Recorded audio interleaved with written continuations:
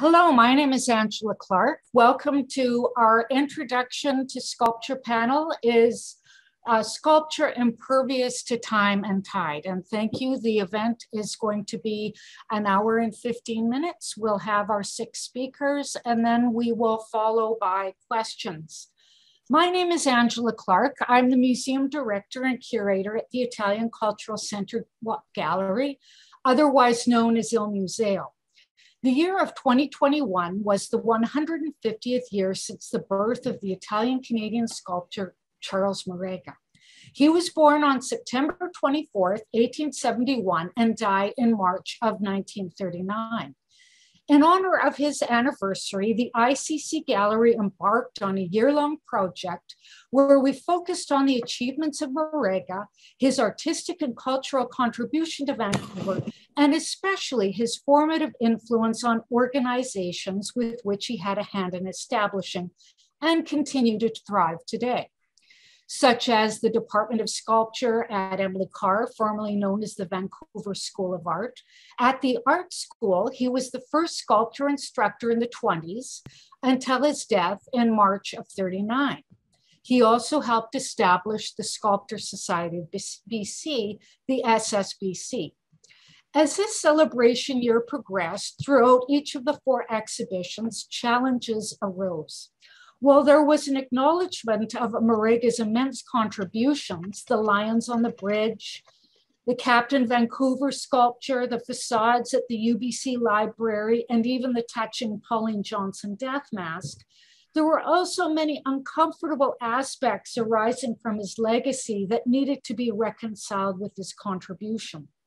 For example, the lions on the bridge do not represent the innate landscape and wildlife of BC, but rather they are interpreted as a monumental symbol of British colonial authority. And see the lions on the bridge and the images I have here. Second, Marega himself possessed notions of public art that were diametrically opposed to our current concepts. He stated that sculpture must remain the builder's craft, and the corporate life of towns and cities demands this. In his notion, sculpture should reinforce the values and status quo or the prevailing corporate culture of the city. Sculpture, in his estimation, did not seek to challenge current and outmoded social structures, but rather reinforce the social hierarchy. Finally, Marega was a proponent of the Beaux-Arts movement, a European art and design movement from 1830 to 1914, which was characterized by classical sculpture embodying highly sexualized images of women, serving as representations of abstract allegorical notions. In Marega's time, women were rarely represented as actively engaged public figures who spearheaded social movements, unless, of course, they were a British monarch. Out of this dual assessment of Marega's legacy and the general questioning of the role of public art itself in our current culture, the idea of a panel discussion on public art arose. As well, ongoing conversations with artists engaged in the Marega anniversary year evolved into a desire for a panel discussion. In support of this project, we were fortunate to obtain funding through BC Multiculturalism through the 150th Inquiry Stream to support the creation of this event. We also called upon a team of specialists to engage in the discussion. Each speaker was selected for their important perspective on public sculpture based on their professional and cultural background and experiential insights. The first speaker is Aaron Nelson Moody, First Nation sculptor of the Squamish Nation, working in Coast Salish tradition. Next, Ruth Beer, artist and professor of art, sculpture, and expanded practice from Emily Carr University. Third, Eric Fredericksen, head of public art, cultural services, City of Vancouver. Fourth, Beth Alber, artist designer, marker of change, the Women's Monument Vancouver, and professor emeritus, Ontario College of Art and Design. Five, Barrie Mowatt, founder and artistic director of the Vancouver Biennale and his colleague Ammar Mahimwalla, Vancouver Biennale Special Projects Advisor. The panel will offer six vantage points from which to contemplate the role, necessity, and voices which must be represented within public sculpture. These are fundamentally the choices facing the City of Vancouver when assessing the place public sculpture has in the life of our city. Topics addressed in this panel will not only include the relevance of public sculpture, but also how, if it is to remain relevant, it must be more inclusive, representing voices of the underrepresented, especially women, Black, Indigenous, and people of color, which will result in a change in the role and aesthetic paradigms of public art. Each speaker and panelist will just talk for seven minutes. There will be time for a few questions at the end, and I will present the closing remarks after the questions. The full length of this event is 75 minutes we begin with Aaron Nelson Moody. Aaron Nelson Moody, Squamish carver, sculptor, working in the Salish, Coast Salish tradition. Thank you. Aaron? Hat uh, sgwael, tyn nhw, si am si neith cwyn toch sy'n chwala tins na otamia, chin cwyn mynd tomi, otamia. In English, my name is Aaron Nelson Moody. Uh, I come from the Squamish Nation, a place called Cheakamus, which is in uh, in uh, northern northern Squamish. And uh, thank you for the invitation. Thank you for remembering one of our one of our host nations to speak tonight. Yeah, the I you know, I tend to love looking at sculpture, and uh, growing up, I didn't really understand what it all represented. I never knew why we had lions on our bridge, um, and it was only when I went to England that I saw the lions at Trafalgar Square that I realized that um, someone interpreted our art history very differently and put those lions, uh, you know, in the middle of our territory. I live right underneath this bridge. I'm here at Humultussen, so it's right, it's right overhead when where I live. Um, would you be able to show some of those uh, images I have the Canoe family? Yes.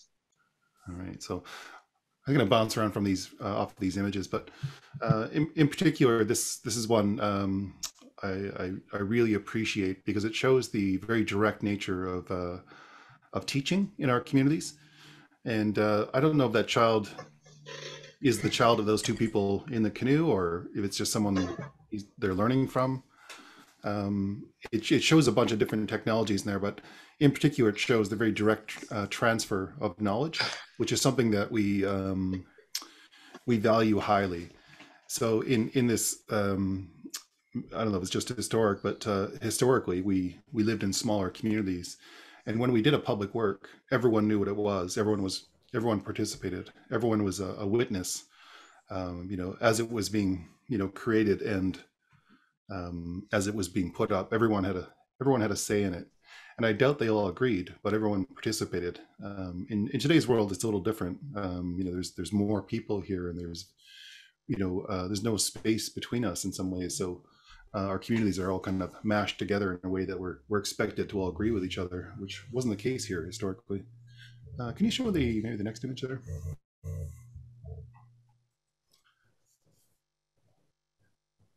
Sorry, you can just go to the next image.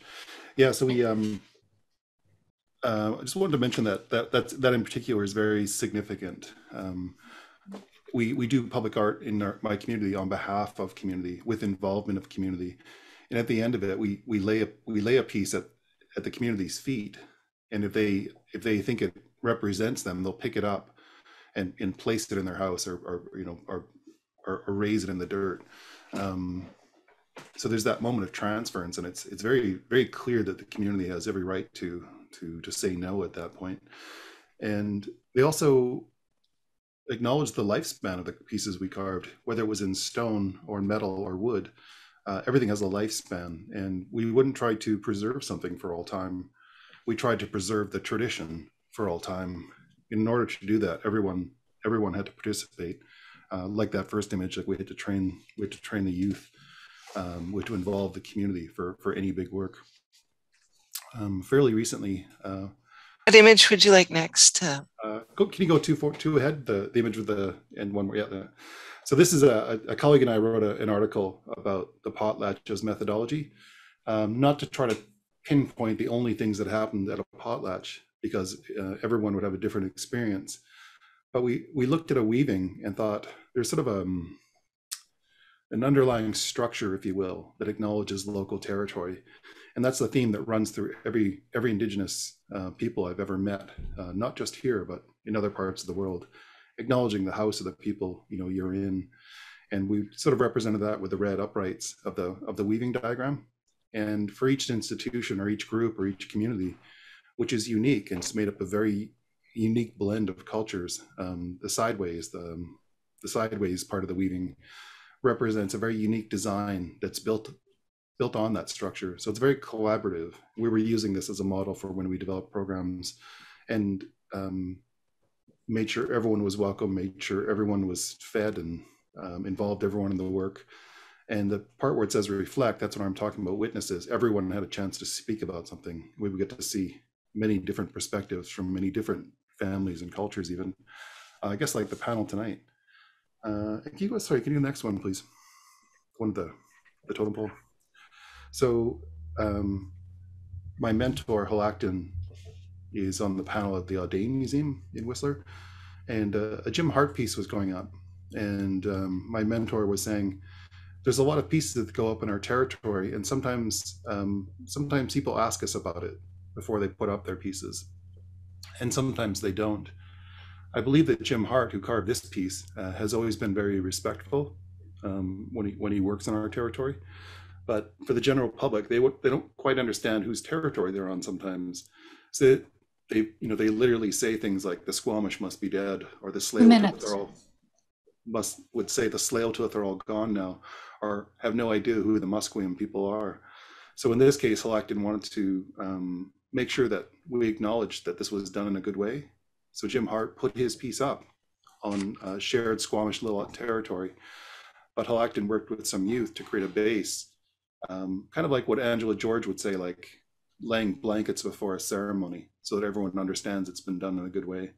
So I think this is a really, um, really interesting uh, model for what can happen in collaboration and to have a, a very visual cue as to um, how people are doing their work.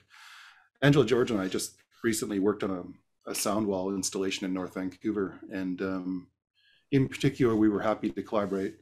What I think in English you might call gendered art forms, um, the weaving tradition and the carving or painting traditions. We we were able to collaborate in a piece that we were quite quite proud of. Uh, that's the that's the last image I'm talking about, and um, in in a lot of ways, the men's work has been uh, has overshadowed in recent years the really strong traditions of women's work. So we're kind of glad that we're able to um, combine them in this case and show that they're very, very strong uh, collaboration and uh, mutual respect. Uh, we're quite proud of the piece. And um, we, we tried our best to involve the general public with images they might recognize as well. I think might be running out of time. No, uh, yeah. So one minute. Oh, so uh, I guess the my answer to the question is um, I don't I don't think things should should last forever um, in terms of the actual objects. Um, you know, I can't couldn't help but thinking of that Ozymandias poem. Um, you know, of course, things go back into the world, and we we've never tried to stop that. But um, we want our traditions to last forever. But we don't want to do things in the same old way we've always done. As new people join our community, we get new teachings um, we, we learn we learn from everyone who connects with our community, and I think that's uh, I think that's good. We had a, a, cultural protocol around innovation in our community, so um, we weren't overwhelmed by change. We were thoughtful about it, and we asked people to uh, do kind of a critical analysis when we when we added new things in our community, like guns or, or motors for our boats. Um, and I, I, believe that tradition is uh, worth remembering. I think it's worth reenacting. Um, and my, my mentor in that case, I think he did a very good job of um, balancing our need to be hospitable to all the people who come to our territory, but not being washed washed off the face of the earth by by by other people and others other people's value of who we are as Squamish people.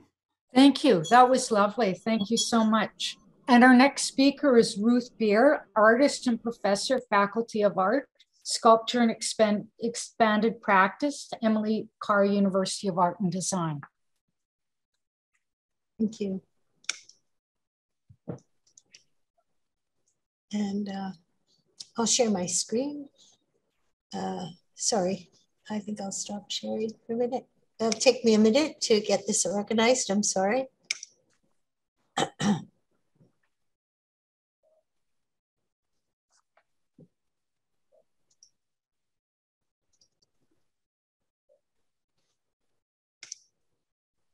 Sorry about this.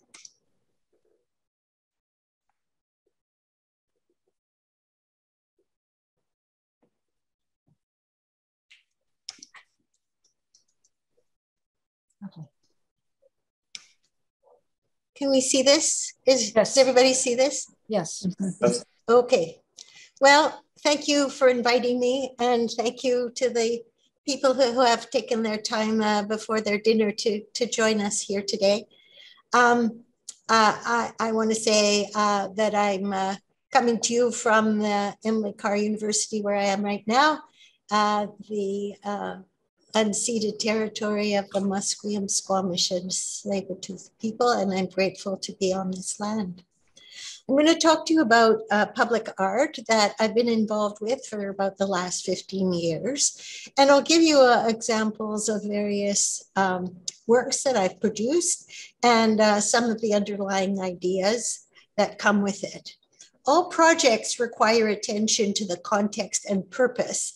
Uh, when these commissions or uh, projects come uh, for a public space specifically rather than an exhibition space in a gallery, um, but more in the community.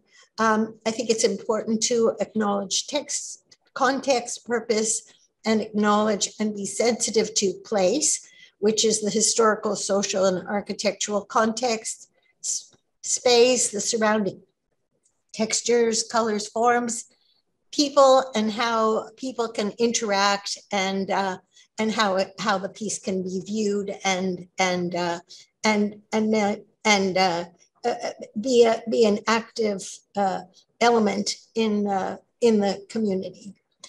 Important considerations for me as an artist, besides these points that I'm, I'm making, is that that it that the work should be safe. Uh, safety is a big factor because uh, you want to be sure that that whatever occurs, especially large scale works, um, don't invite any kind of problem in that way.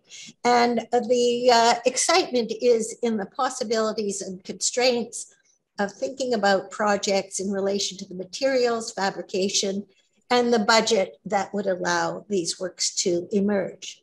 Um, I've done various kinds of works, and some are short term installations. So here's one at Beijing University that involved myself and colleagues, um, where we introduced, or we sorry, interviewed um, immigrants to Canada, specifically to Richmond, um, and to speak about their lives as uh, their journey in feeling belonging to the community.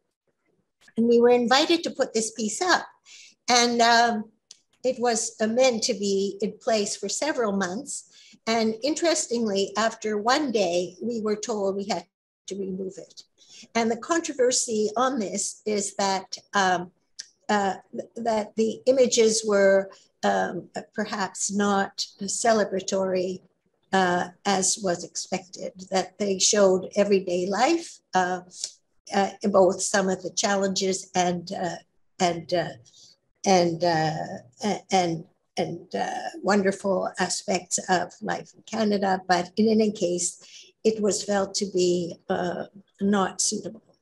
This is another work that was temporary bus shelters in Richmond. Um, we, we took the phrase, you are here. We repeated it in numerous languages that occur in Richmond.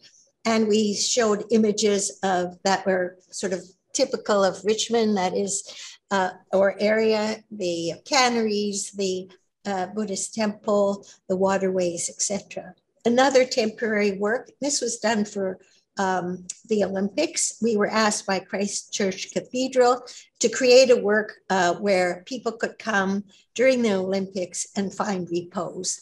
So this is the work here. It's made with the organ pipes that used to be in the cathedral that one of the um, members of the church had in his uh, barn in Salt Spring Island. We took it, we, we cleaned them and uh, uh, placed them, the piece is called Silent Song. Longer term projects include uh, this work, again, you are here, and um, the references to the landscape. Many of the references that, that inspire me have to do with the land, with the history of the land, the use of the land. And in this case, uh, this patio or this uh, uh, area um, in North Vancouver is a very much is uh, is part of the the uh, bike route that goes from the upper levels down towards the water. And this is an area I conceived of as a place that not only suggested twists and turns, but also some of the geology and a place for people to rest. Um, another piece in Richmond, uh, this area where this piece was placed was an orchard, and it's a kind of monument to what was there before, the tree and the fruit.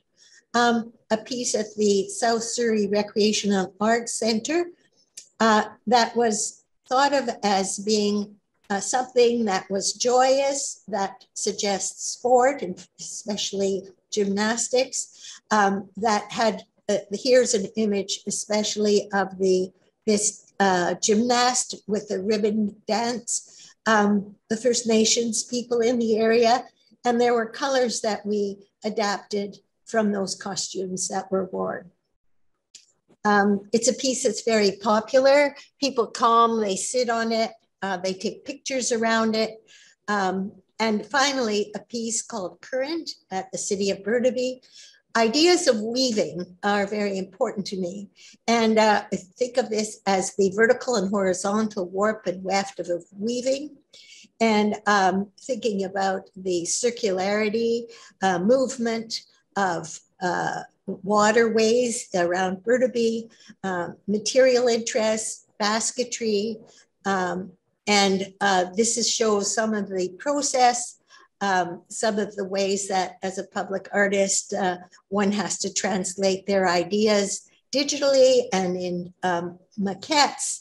Here's the piece. Um, you can see some of the verticals that are repeated in the building design itself so that it it it uh, it acknowledged that the architecture um, and these pieces are stainless steel aluminum powder coated um, i'm bringing you closer and closer to some of the uh, reflections that could be seen um, and uh, i want to thank you for your attention thank you thank you ruth uh, Eric Fredericksen, Head of Public Art, Cultural Services, City of Vancouver. Thank you, Angela. Thank you for the invitation to be here tonight. Um, thanks to everybody on this panel. It's great to, to be amongst you tonight. Um, I was asked to focus on uh, the city's commemoration policy, which is something that hasn't really existed in a very developed form through the whole history of the city, for as much commemoration has happened there, and it's something that we've been tasked with um, with creating a formal policy around. Um, I won't get you too much into the policy details, but just to say that we're we're quite a bit at the beginning of the process. We've been doing research and internal work on this, and we have yet to launch it publicly. Um, we are we've scheduled some upcoming conversations with staff at, at the host at um, the Musqueam and Squamish and Tsleil-Waututh nations that will um, kind of be the first point of, of, public contact with the work, and then it'll start to emerge in, into more uh, broader public consultation. And you should expect to see a lot more about the policy emerge after the election with the new council seated when when public engagement can really get going again at the city. Um, so 2023 will be a really key time for this work. But um, I can give some context to just how commemoration has worked in the city and, and the current state of play. Um, some um, works that have been in the news recently and so on. Um, starting with uh, my first image, um, which is a page from the province newspaper. And um, I want to thank Ruth for for um, for giving a territorial acknowledgement. I think it's really key when we talk about commemoration to recognize, and when we do acknowledgements of the city, to recognize that a lot of the history of the city has been in a denial of, of that exact uh, fact of, of the unceded territory that the city was founded on. And so um, this is a perspective, uh, a, a, a, rendering of an attempt um, by white settlers to create within Stanley Park an evocation of an indigenous village. And for those of you who know um, forms of, of, British Columbia and the Northwest generally, you'll recognize that Stanley Park, which was a site of great significance to the local nations, um, and as part of the founding of the city and its park system, um, their traditional uses and habitation within within the park was was um, was destroyed. That it's interesting that one of the first moves was then to replace that actual living cultural presence with um, with images of works that, that are not local to, to Vancouver. These are, are Haida or Kwakwaka'wakw poles and the longhouse form with the, the double, um, with the gabled ends and, and the, the, um, the peaked roof rather than a, a single um, slant roof is, is also not a local architectural form. And so the city has often tried to profit from an image of itself as being um, as having a strong indigenous heritage, but it's often been through a, a fabrication and, a, and, an importation of, of those forms. Um, if we go to the next image, um, just to jump ahead to just a couple of years ago, as we all know, as the, the city and, and the world started to shut down at the beginning of the COVID pandemic, um, the killing of George Floyd in Minneapolis and the the various um, comings together and uprisings and protests that uh, expanded across the globe really um, had had local valences in in response to specific um, colonial sculptures within the city. So this is an image of graffiti fighters who have a contract with the city to maintain um, aspects of our commemorative landscape cleaning uh, red paint off of the statue of, of, Captain George Vancouver that stands on the steps of City Hall. And um, I like this image partly because I think we're, when we're talking about commemoration, we're talking about existing works and and how to contextualize them or think about them, how to how to re-engage with them. Um, and then we're talking about new commemoration, how how the city can um, put itself in a position to adjudicate and, and to welcome new forms of commemoration into the city landscape. But maintenance is itself a form of, of how the city shows its values. Um, and so as soon as red paint is, is put on a, a, a, statue, I don't even get a call. There's a call directly to the graffiti fighters and they, they spray it off. The next image, I think, will be I, I, think I misnumbered a little bit, but um, yeah. So Gassy Jack around the same time, the sculpture by Vern Simpson that sits in Maple Tree Square. And Gastown was also hit by red paint. And before I could get down there on my bike to, to check it out for myself, again, it was being cleaned off. And it was only this image by a uh, sent to us by a local um, security person working, I think, for the BIA that showed me that there was a specific content to this to this message that it wasn't just um, the red paint, it was this sign at the base of it, which reads MMIWG. And so mm. Gassy Jack has become a, a significant figure to be as a figure of protest because of the knowledge that his second wife, Kalia, who was Squamish, was only 12 years old when he married her.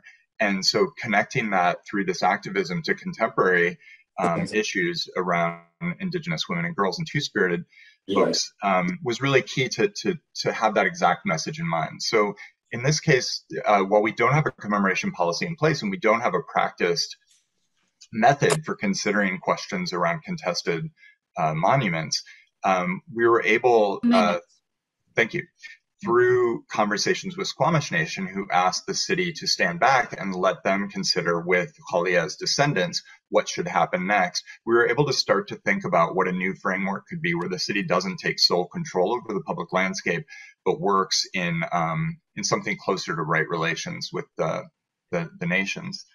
Um, so that's ongoing, and we will will be engaging more about about the, the future of Gassy Jack and what will happen there. This image is distorted, but it's a little out of order, sorry, but yeah, this is good. I just wanted to point to, in a, as a counterpoint to the image of uh, of the fake uh, longhouses in Stanley Park, this image, which is one of the three gateways uh, comprised of house posts that Susan Point created for Brockton Point, where which is the, the city's prime location for collecting Kwakwaka'wakw and, and Haida totem poles.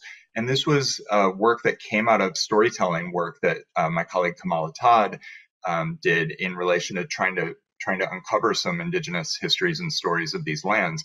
But it was a way of, of marking and welcoming um, by, by in reference to the local nations at a, at a place where the city had primarily represented its in, indigenous heritage through imported forms again. And then my last image is a bit of a wild card in, in the context of what I've been talking about, but I think it's important that we continue to work with artists directly as we think about commemoration and its future. And this example is a work by Paul Wong that was an artist initiated project. He was doing a long term residency at Sun Yat sen Gardens, and he proposed to erect a sign in a laneway in Chinatown that's actually a former site of Vancouver City Hall. So, a site where many of the acts of, of formal discrimination against Chinese Canadians were signed into law is now marked with a different form of sign that indicates two names used um, by Chinese immigrant settlers for Vancouver. One of them is a phonetic representation of sounds similar to ban, ku, wa, uh, and the, the three other ones represent uh, an informal name for the city, which is Saltwater City.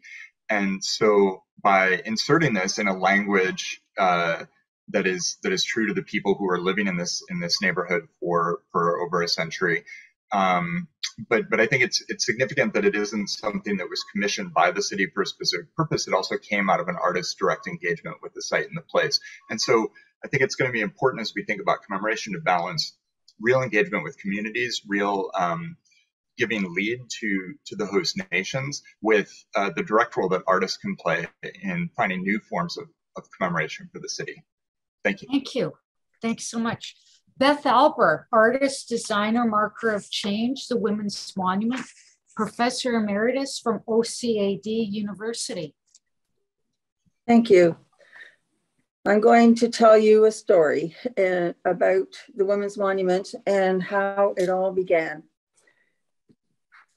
As a student myself in 1993, finishing up the third of four semesters of a graduate degree at NSCAD University in Halifax, Nova Scotia, I saw a call for entry on the notice board to submit a design to a national design competition for a women's monument in Vancouver to mark the murder of 14 engineering students on December 6, 1989 at École Polytechnique in Montreal. No more details, but I was curious and intrigued. My time at NSCAD was a break and, and sabbatical from my work as professor at OCAD University in Toronto, where at that time I taught jewelry design. And the Montreal Massacre was a watershed moment for me as a teacher and a woman who suddenly realized how vulnerable we were to such violence. It could have been us.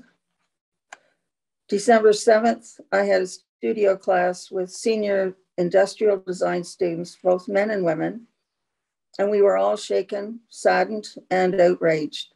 I remember particularly how confused and ashamed the men felt, mostly just about being men, and how they wanted to work towards this never happening again. We were all just beginning to realize the profound effect the actions of the night before were having on our lives, and those feelings stayed with me when I applied to NSCAD in 1991. Chris, could you put up the images? Yes.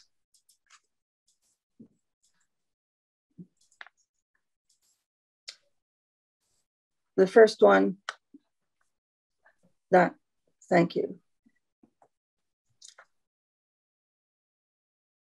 After seeing the um, call for entry in 1993, I left Halifax with a friend in, uh, to visit a friend in New Brunswick.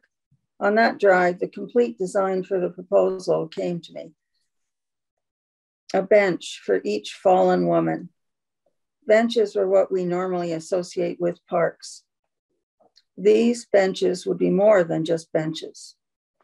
Pink granite from Quebec Granite, because it is forever and what Canada is built on. Respect for the park and all who use it.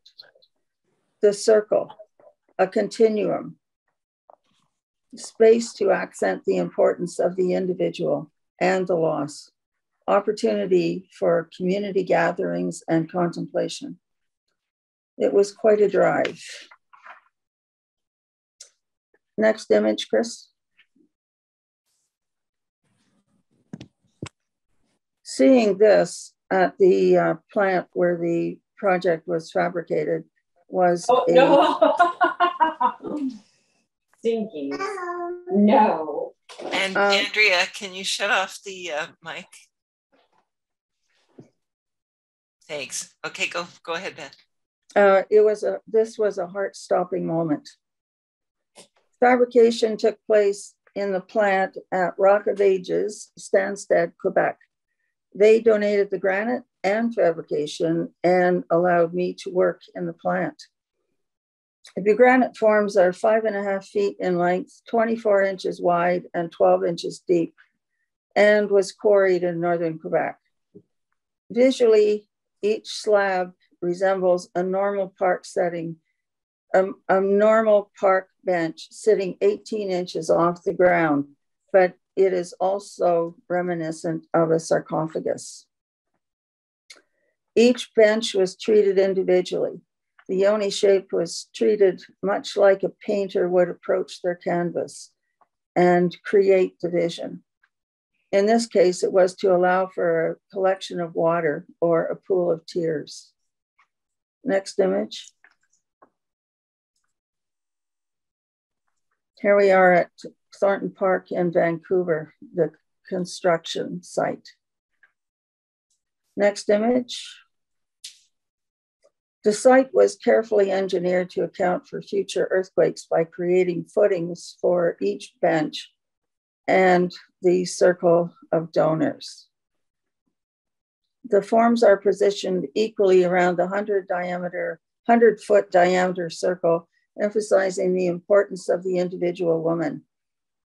Each individual woman is recognized for themselves and the potential that was taken away from them, from us as a country and their families and friends. The 14 feet empty space created between each bench is an art and design tool used to emphasize the power and significance of the individual and the vulnerability of that lone space. Next image. Another major element of the project was the circle of donors. Visually, this ring of tiles created a framework or protection for the circle of bench forms, but also recognized the more than 6,000 donors to the project from across Canada and beyond. The donors were made up of individuals, families, groups, and was privately sponsored. These tiles were handcrafted at the Sumas Clay Company, Abbotsford, an indigenous brick making manufacturer. Each name was letter punched into the leather hard clay before firing, and all in alphabetical order. A logistical nightmare, to say the least. Next image. The dedication you see here, I don't know if you can read this or not. Um, dedication you see here was translated into seven different languages relevant to our Canadian Multicultural Society English, French, Chinook, jargon, Chinese, Spanish, Swahili, and Hindi. The dedication was written and sweated over by the amazing group of volunteers called the Women's Monument Committee, who worked on the details of the controversial dedication and languages, and at least a million other things. They were always there and focused on the end result. Next image. Thornton Park, December 6th, 1997. The project was officially unveiled and the event was very well attended by the community, officials, family members, and volunteers who had worked on the project for eight years from 1989 to the completion in 1997. It was a bittersweet day and ceremony, but was seen as an opportunity to recognize the larger community and pay homage to all women who had suffered from violence. Uh, I think my time is probably Yes, up. yeah, wrap up. Thank you. And uh, so thank you very much. Thank you. And finally, Barrie Mowatt, founder, president, and artistic director of the Vancouver Biennale, and Ammar Mahimwalla, the, also the Vancouver Biennale Special Projects Advisor. Thank you, everyone, and, and I do thank I thank you for uh, inviting me, and uh, it's wonderful to be a part of this uh, uh August group of uh, almost historic uh, Vancouverites and Canadians. I'm going to just do a lead in here. Basically, what you're going to see more presenting is a reflection of what is sculpture in keeping with the theme of that was presented to us. And you'll see images of past 24 years where it's been a process of continuously reimagining ourselves uh, and to remain relevant and how, what public sculpture is and how public sculpture has transitioned uh, uh, just in that short time for us in the Biennale and uh, within the city. So Ammar has been with me, was with me for five years. He now works in Victoria and in uh, culture planning and space. And I'll let him tell you a bit more, but thank you for that. And I hope you enjoy the uh, historical review. Thank you. Thanks. Chris, would you mind bringing up the, the first image? And just before I started, yeah, my name is Ammar Mahimwalla. Thank you for, for the invitation to be here.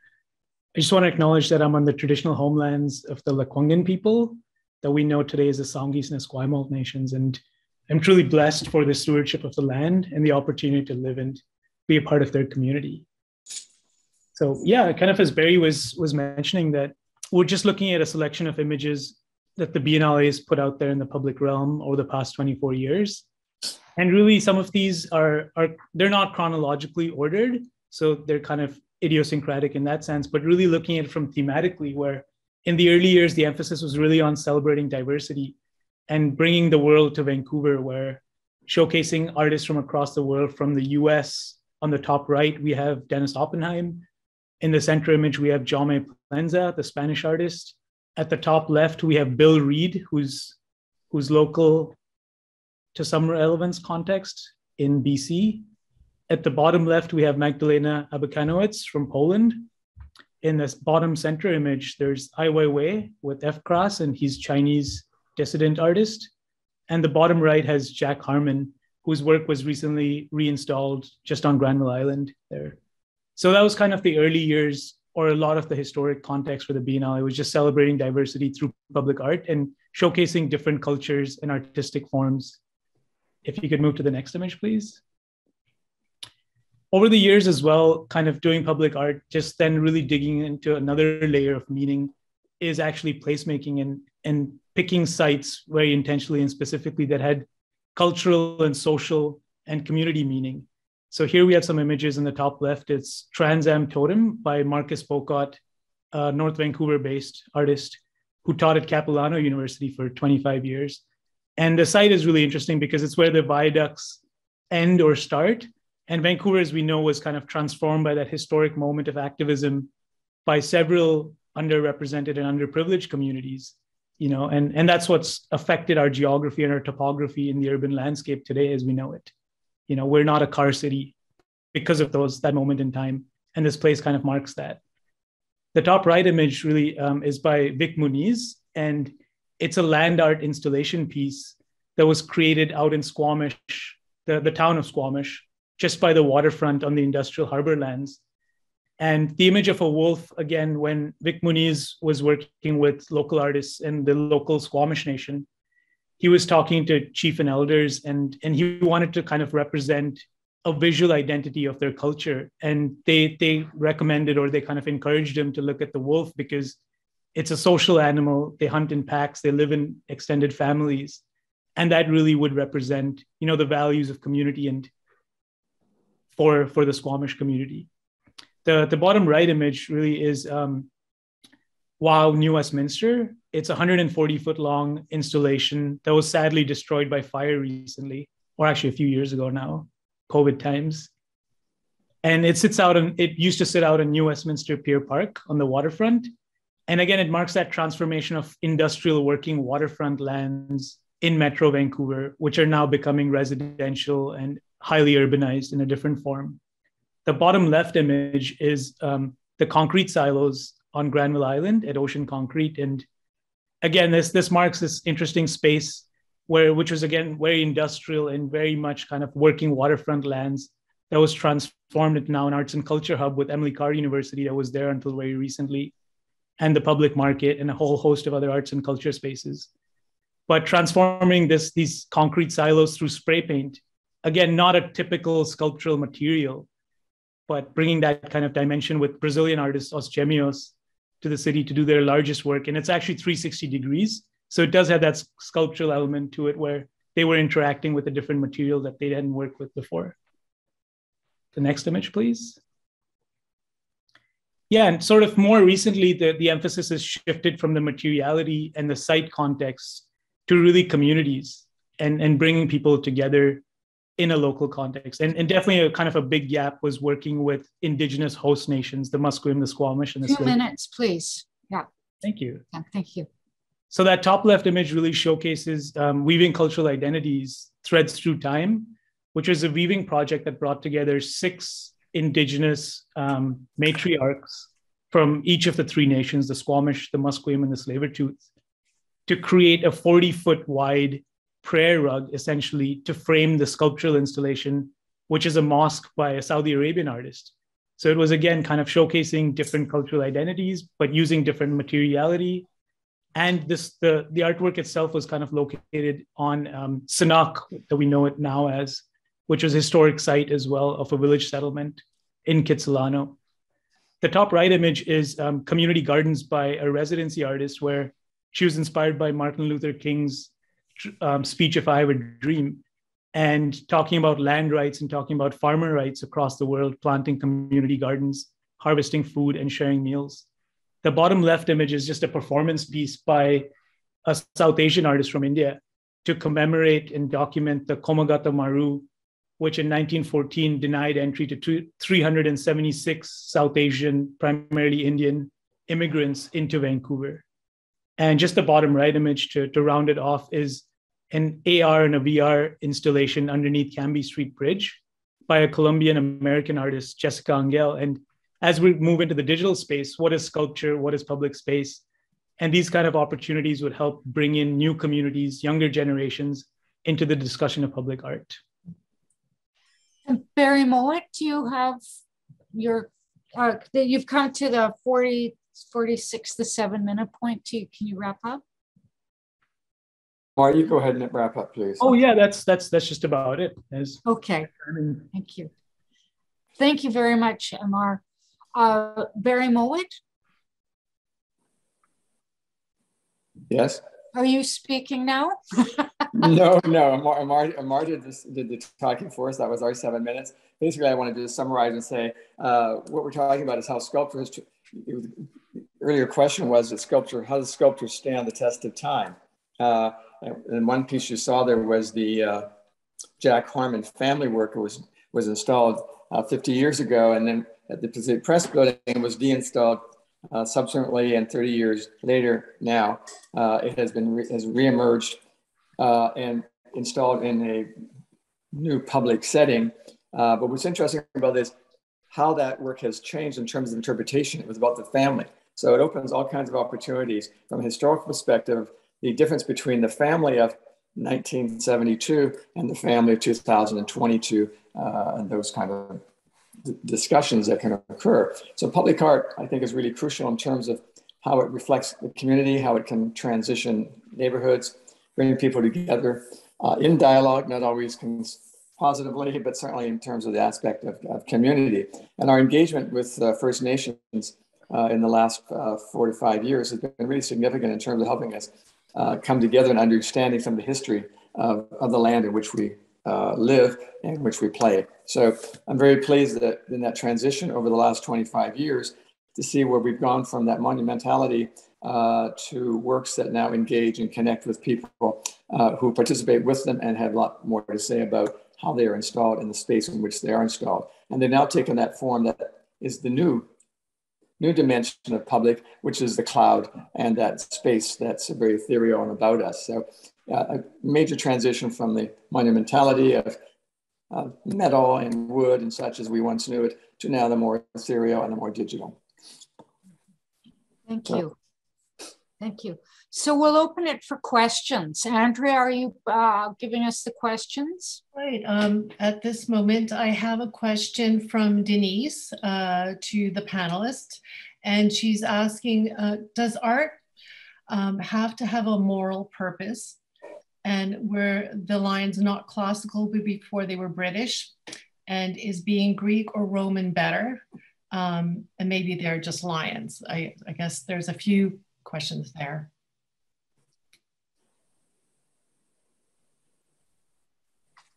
Does anyone want to answer answer that? We're all being terribly Canadian. no one wants to go first. I, I could say from uh, you know, our, you know, I'm, I'm, just one person in Squamish Nation, but um, the re- the renaming of place, the um, the the movement of our people onto reserve, the control of our um, you know our, our very identity and definition of family by racial purity, um, the renaming of all like every every single location, the alienation of us from the lands doesn't doesn't seem like an innocent act.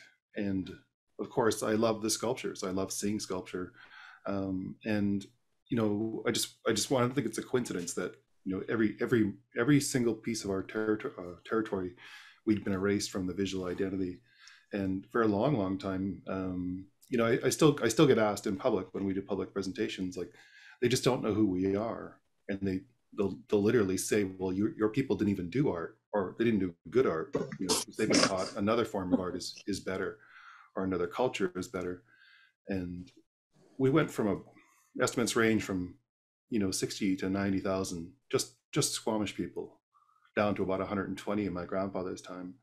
So we were almost completely gone from the world um, with no sign that we we'd remained.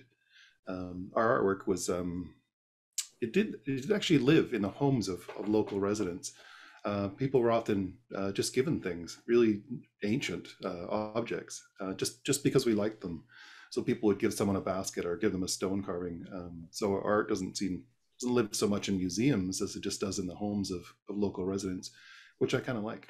Well, it's interesting in terms of the question with the lions and and that type of thing. I mean, for me, I've always I've really pondered the fact that uh, you know European culture has been far more accessible in academic institutions than indigenous cultures. So it's easier to learn, say, Greek and Latin than it is to learn an indigenous language. And that is colonialism. And we have to acknowledge the fact that the system has made it hard to acquire uh, indigenous languages, indigenous art. And that is something the movement now has to be to as much as we appreciate the skill of the say the lions on the bridge we have to admit that that is the fallout of not just an erasure of indigenous culture but the fact is that we've made somehow culture from thousands of years ago and thousands of miles away more meaningful and accessible here. So that that's my insight about that. And i think that's that's what we have to change yeah and it, i think it's and it's it's an explicit example of that overwriting in that the lionsgate bridge is named in reference to what mm-hmm. settlers called the lions on top of the mountains on the north shore which we now know were the sisters and relate to a, a great story of um, two sisters who brought peace between warring nations. And so that whole, you know, it's a literal overwriting of, of one uh, local story with an imported, um, you know, imagery uh, overlaid on top of it. The next question. Andrea? Yes, um, yes, we have a question from Sharon, and um, she's asking, is it possible to use um, I guess, term inappropriate public art um, in some educative way rather than um, only the options of removing or destroying them. Can you repeat that? The first part was uh, muffled a bit. Yeah, there was some sound. Yes, um, Sharon was asking, is it possible to use um, inappropriate public art, as she has in, in quotation marks, in some educative way rather than the, uh, the only options being the removal or destruction of them. I think that's a that's a really interesting and sort of topical, timely question. I think um, one reference point, maybe for for some folks who might not be familiar, is Monument Lab. It's out of the the University of Phil- is it Philadelphia? It's Ken Lum, the the artist who used to live in Vancouver and Penn, Penn State. Penn State. Sorry, Not Penn State, University of Pennsylvania. But yeah, University of Pennsylvania. yeah.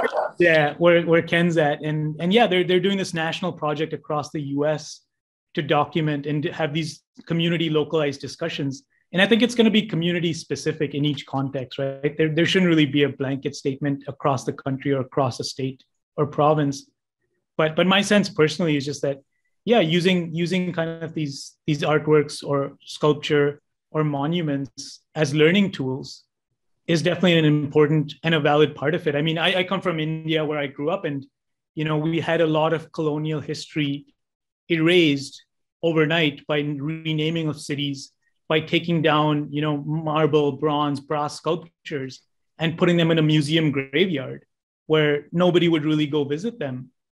You know, and, and so actually kind of the injury and the harms caused by those people or by those governments was actually erased from memory which is worse in some cases than you know keeping that front and center and keeping that as a reminder of how what not to repeat or what we should kind of constantly being aware of in the back of our minds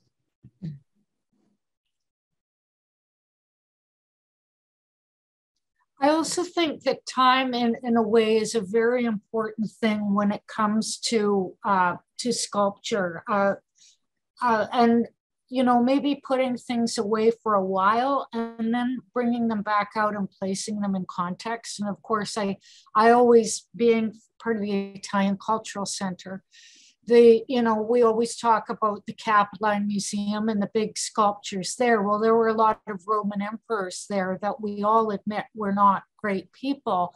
But at this point, we wouldn't consider getting rid of it. However, we do now put it in context. But I think things right now in many cases are too, you know, for example, a Columbus statue, that needs to be put away for a while. We need to acknowledge that he was not a good person. So I think that, you know, there's a lot of negotiation with that, and we need to reflect on how we present these things thoughtfully. And share a thought as well. We um we have a, a an event like someone gets a name uh, and we have many witnesses. And um, I've been told we're considered like poor people if we only have our friends and relatives there. So if we don't have a real diverse crowd, we we you know we just repeating stuff we already know. But to have guests from other other nations, um, we say on that day we're rich to have all that uh, diversity of teachings. Uh, it makes us feel rich, and uh, that's what we call uh, the the calling of witnesses. And then say they pass the name down 50 years later, they'll call back witnesses from the original ceremony, uh, to verify what took place.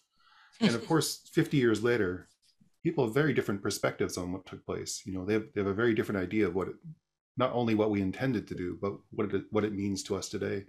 And, um, you know, I can't help but think of, um, you know, friends I had in Montreal. Um, you know, imagine if we came back together around that women's monument and spoke about it today. You know, the, the conversation um, you know people know more now uh, we'd be talking about you know missing and murdered indigenous women we'd be talking about all those little graves they're digging up around schools mm-hmm. schools you know yeah. you know in canada mm-hmm. uh, the, the conversation would be would be would be much bigger and yeah. um, it would it, it'd be worth doing i think to to to be keep having that conversation through time and and with our changing knowledge and perspective mm-hmm. what was the word again for for verification it's tachlinatum so we would literally you know if someone has moved across the country we'd fly them in like our family would fly them in to verify what took place. Because uh, sometimes um, we'll share a name with uh, a non-squamish person. We'll, we'll let them carry a name for their lifetime. But uh, as we own the name our family might own the name it would it would it would be given back to us you know after being carried around. We'd give it to someone who would like lift it lift the name up like you know um, make us feel really proud to have that person carry our name around and enrich us as a family and then and then they would pass it back to our people um, with a, a, very different um, very different sense of history around it You know, uh, Can I? my, Oh, my, go ahead. uh, my idea about uh, monuments is is uh, uh, is one that that I, I appreciate the the complexity of what a monument is, and I think there's a lot of discussion about whether a monument is intended or should be thought of as something to commemorate, uh, remember something in the past. Uh, if it's for the present, so that uh, we can learn uh, to understand uh, a better future. So, what is the purpose of a monument? I think that's not always clear. And um, I think that uh, more and more cities and, and artists are thinking about something called a non monument or an unmonument. And the idea of that is less of uh, something that is um, so long-standing, uh, typically uh, understood to have a kind of uh, um, ability to morph and change and transform. Uh, it, you know, it's not uh, so needing to be a forever a man and a horse in the middle of the plaza. That there is a, a, a sense of of change inherent in the work itself and that um, it need not be vertical and and and prominent and and uh, and possessive of the space that way. Um, and I think that that's very interesting to to really think about other ways of um, understanding the monument as a as a living thing, and um, uh, one that that is not outside of community, but very much uh, transformed by it and through it uh, in its own lifetime. So uh, I know that's a little bit uh, abstract, but uh, it's very exciting to hear about discussions about monuments in so many areas of study. For example, architecture, um, you know, city planning, uh, uh, memory of, of uh, of events. And so, you know, the question of do you tear down the monument of Stalin or do you leave it up so that we can learn from it? Um, you know, I think it's no simple answer to that. Uh, but I think moving forward, thinking about unmonuments is very exciting. Thank you, Ruth. If, if I could speak, I'm on the Women's Monument Committee. Do you mind if we? I, I'd like to go back to something Aaron just said. Uh, Aaron, we've continued to, we hold uh, events there uh, pretty much every December 6th since it's been uh, built. And for years now, uh, and while we were in the process of, of making it, um, the, the project, we've talked about missing and murdered Indigenous women and girls. And, uh, and so Indigenous women uh, that we know that we meet have spoken at the monument and been featured at the monument for years now. So what you're talked about is true, and you're right. Like the next this December 6th will include what's happening on these terrible uh, finding of all these bodies in in all the residential school areas. So thank you. You're right. Like it it changes over time. And certainly this year we are talking about um, battered women and children because of the increase in violence on, during the pandemic. Thank I you. I think that's a, uh, Chris, uh, thank you so much. And I, I, I would say that that's an unmonument. The women's monument is what I would call a living monument that that as you say changes over time that that that that embraces the community and embraces dialogue and uh, does a job that both remembers the past and prepares us for the future. Thank you, Ruth. It's what we intended. We saw violence against women as this juggernaut that's been going on for centuries, and we knew it's not stopping. But we wanted to create a moment where we acknowledge and the 14 women it was this huge event at the time they represent the individual to us not themselves per se. But the uh, you know themselves yes but but the idea of the, the loss, the personal loss of the individual. And, and it's happening in, in massive numbers. Um, violence against women, it, it, the murder of women, it's increasing worldwide. So it's kind of, it, it it's a place to gather in the midst of, of reality. Thank you very much, Ruth. Thank you. And is there another question coming up or? Um, the questions have been, uh, I guess, the same similar topic about what to do with what is viewed as um, troubling sculptures. Whether, um, for instance, Marjolaine is asking, could we move these sculptures into museums with appropriate uh, interpretation? Oh, and she did say she, uh, yeah, it's been answered, but I thought I just make sure everyone feels that they've been heard. Um, but yeah, I think the, the questions have been along the same lines. Right. Yeah. I I like this uh, this trend that I've seen in the news where there are three you know there are three interpretations of it that you um, you know that there's the indigenous interpretation uh, of public art as well and that is placed alongside the traditional uh, as well that they it remains in public but also there is that um, indigenous interpretation as well too. That is also an alternative. And also it is the function of museums as well to, to deal with um, the interpretation of sculpture.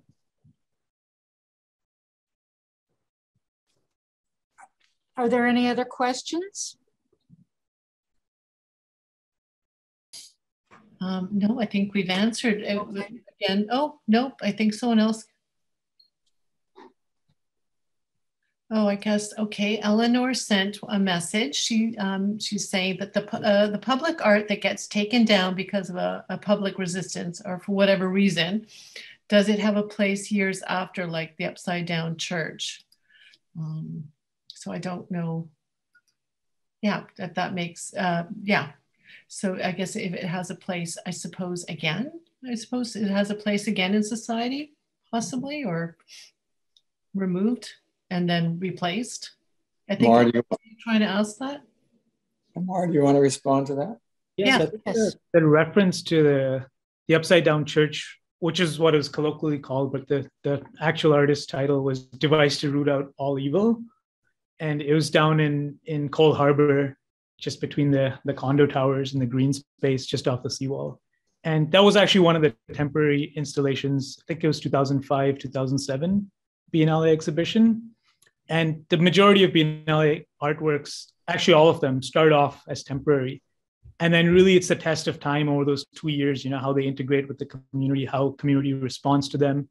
Is there discussion? Are they well received? Are they well loved? Is there support for them?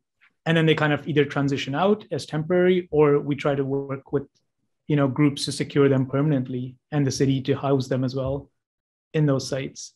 So that one was actually temporary. And there was yeah it was definitely one of the ones that generated a lot of discussion just because the form was a prairie church with a steeple and it was kind of pointed upside down with dennis oppenheim this famous land artist really questioning the role of church in society. And i think there was a comment earlier a question earlier about does art have to be moral or is morality a part in that? And I think it definitely can be. I don't know if it should be, but I think it's different artists have have a perspective on it and if they feel strongly about it. I think our society does allow for that sort of freedom of discussion and thought, which again, with the Chinese artist Ai Weiwei, is really talking about censorship in certain societies and communities. And so we do have that freedom and privilege. And it's a right and responsibility at the same time to kind of have that opportunity for for dialogue in a public format. Well, it would be interesting, given the question, if you were to bring it back today, how would it be received? And site and site may play a big role in that. Uh, has society changed or have opinions changed? Uh, how they might see that. Um, currently, it's installed, and I think it's close to being permanent uh, in the city of Calgary in a new uh, a new development in the downtown core. So different communities see it differently, see words differently, respond differently to them. Um, that's all I can say. Um, we have a question um, from Miret that asked um, the panel uh, panelists if they could recommend any literature or information that um, would be related to contemporary public art that they could read or um, look into.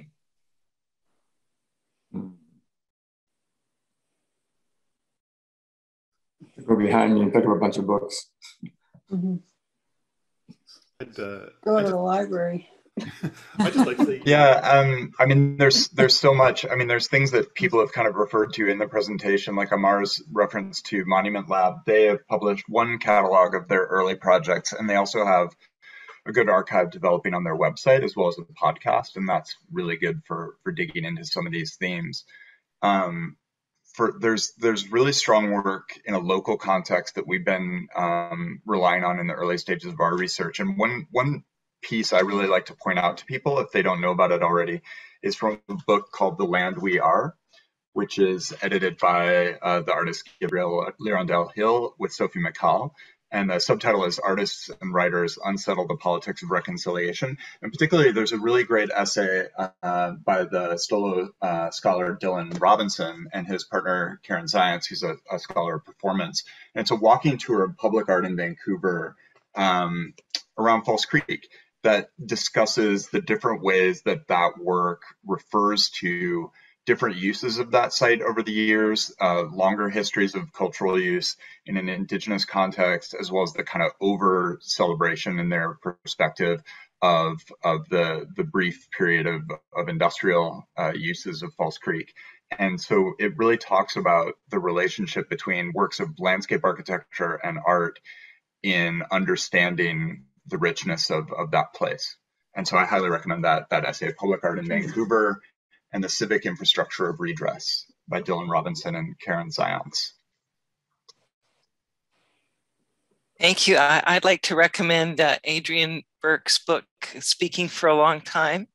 She's uh, local and she um, did three memorials uh, uh in Vancouver. One of them was the Women's Moment, Women's Monument, and also the, um, you know, different ones. I'm trying to remember.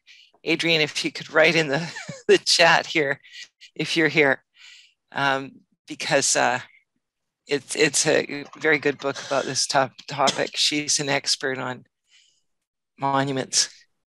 Mm-hmm.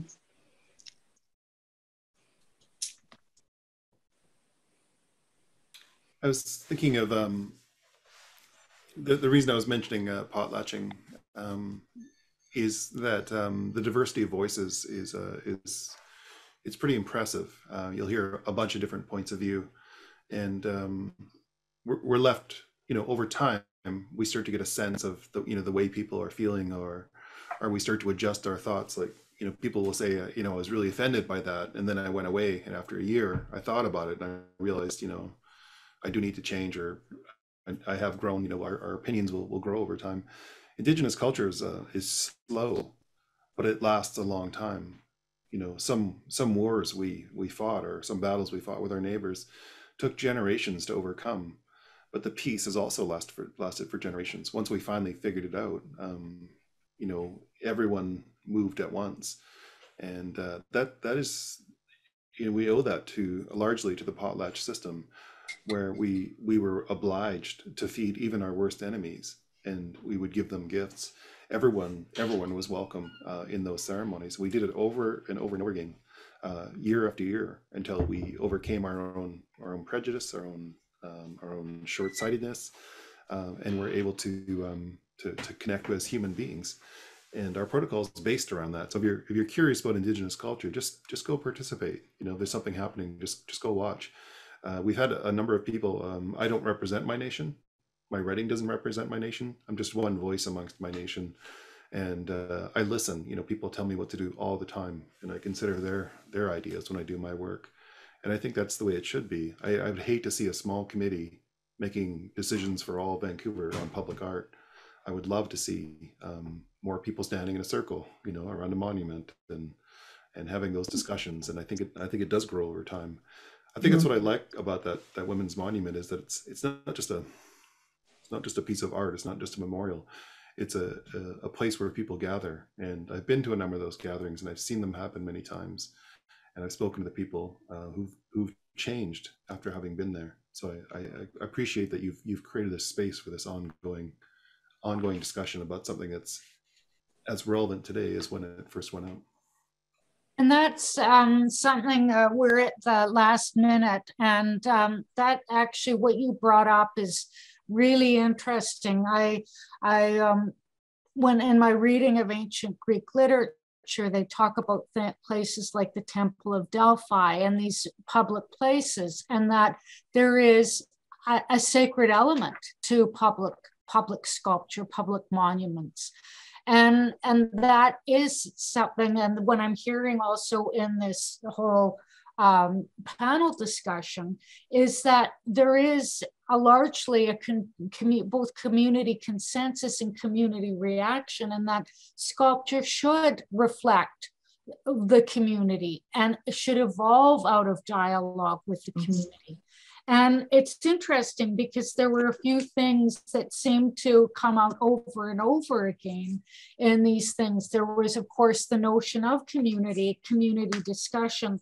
but also this sense of weaving that a lot of these public sculptures and paradigms for creating public sculpture had sort of a reference to weaving and even and this sort of community collaboration that's interwoven together to to appeal and to re- reconcile the different um, uh, part elements of the community and to create a voice. And i thought that was so interesting how this idea of weaving kept coming up over and over again. And there was even the art piece where the weaving um, that Ammar t- talked about was that you had different cultures that artists that were weaving together and I thought that was really interesting this idea of recognizing the locale and recognizing the local culture and, and having this constant dialogue.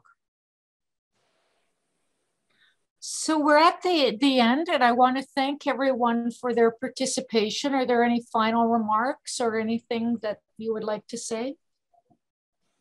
I'd like to say thank you to everyone because I learned mm -hmm. a few things tonight. Uh, and uh, uh, particularly Aaron, thank you for your gentle comments mm-hmm. and the educational way of opening doors in our minds. Uh, and so, uh, again, lovely uh, meeting you, Beth and Ruth and Eric. Good to see you again.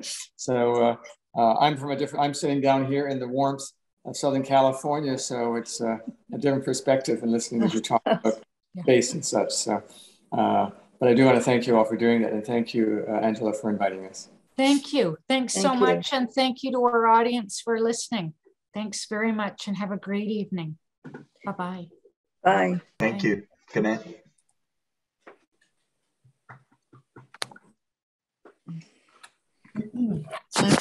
Still there?